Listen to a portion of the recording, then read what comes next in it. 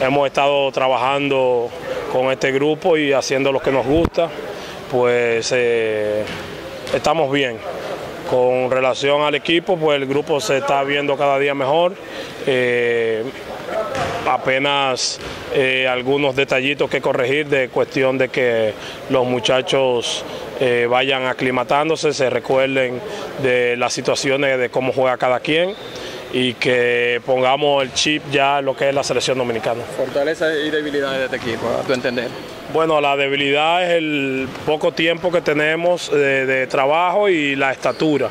Eh, tenemos problemas con nuestros jugadores altos y una de nuestras fortalezas debe ser la ventaja de que los guards nuestros pues son muchachos que ya han jugado, que pueden probar en la liga, que pueden hacer grandes cosas. ¿Qué tan lejos podemos llegar? ¿Tú crees que vamos al Final Four?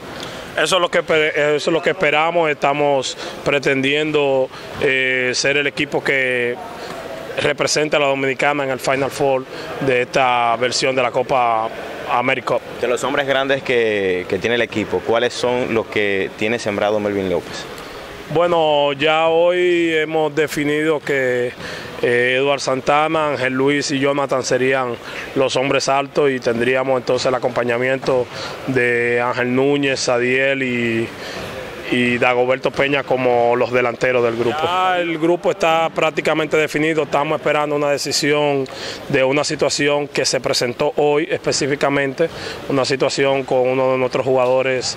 Eh, que no ha estado bien de salud. En el día de hoy se presentó con algunos problemas y estamos mirando su situación para ver eh, ya cómo vamos a definir el, el, grupo final, pero prácticamente ya el grupo está reducido hoy a, a, a 13 jugadores y nada más estamos esperando esa sola decisión. Nada, la condición de Adris de León eh, no lo vimos practicando y nos enteramos que tiene algún problema eh, de físico.